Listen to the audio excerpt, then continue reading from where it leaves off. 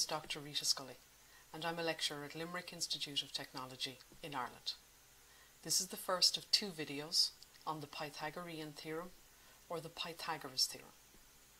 I will introduce and explain the Pythagoras theorem, and I will demonstrate two proofs of the Pythagoras theorem. In video 2, I will demonstrate how to apply the Pythagoras theorem to solve the unknown sides of a right angle triangle.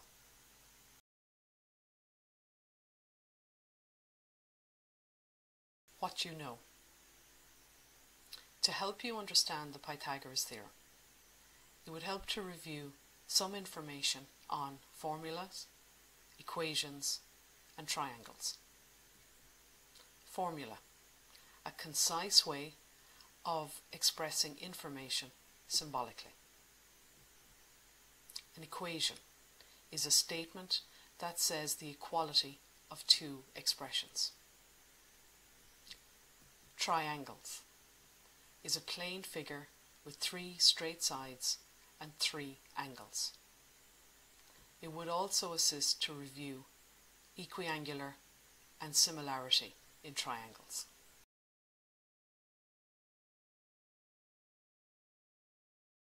There are some key words that we use in this video.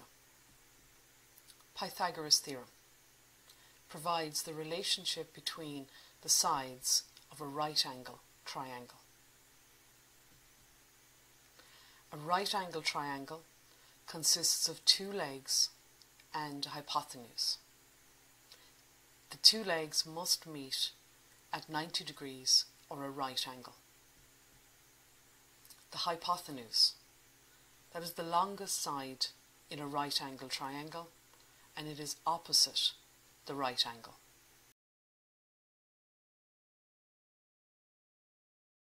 The Pythagoras theorem tells us the relationship in every right angle triangle. a squared plus b squared equals c squared. The Pythagoras theorem is normally stated as in a right angle triangle, the square of the hypotenuse is equal to the sum of the squares of the other two sides. The Pythagoras theorem tells us the relationship in every right angle triangle. a squared plus b squared equals c squared. The Pythagoras theorem is normally stated as in a right angle triangle, the square of the hypotenuse is equal to the sum of the squares of the other two sides.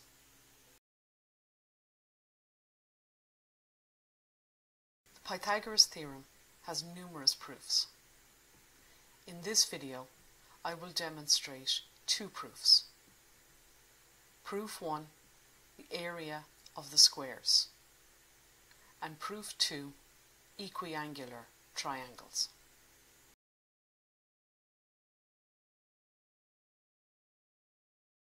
Proof 1.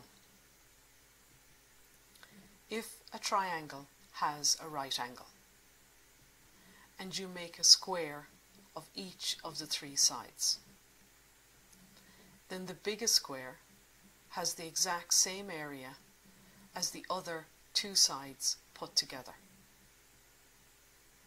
So the square of A, A squared, plus the square of B, B squared, equals the square of C, C squared.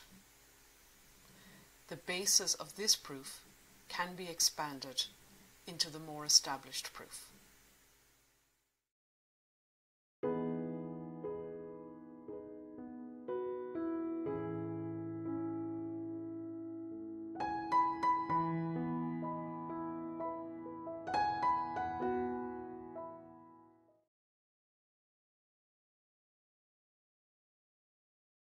Proof 2. If we draw a perpendicular line BD onto the line AC, we know that the triangle ADB is equiangular to the triangle ABC.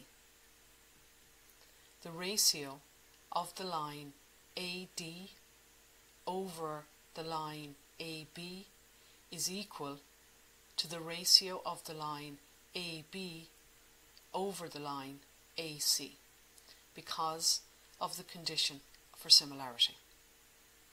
We can write this as AB squared equals AD multiplied by AC. Also, the triangle BDC is equiangular to the triangle ABC. The ratio of the lines CD over BC are equal to the ratio of the lines BC over AC because of the condition for similarity. This can be written as BC squared equals CD multiplied by AC.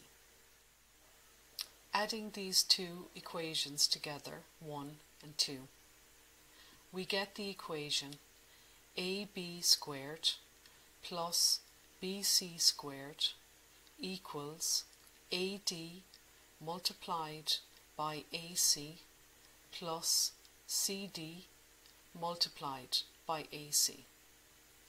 This can be rewritten as AB squared plus BC squared equals AC multiplied by AD plus CD.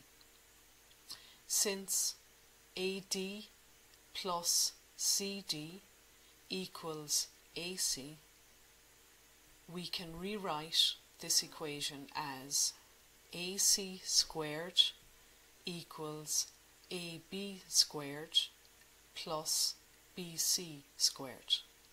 Hence, the Pythagoras theorem is proven.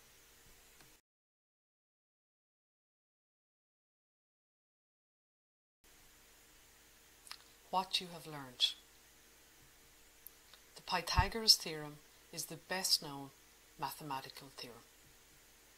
It provides the relationship between the sides in a right angle triangle. A right angle triangle consists of two legs and a hypotenuse.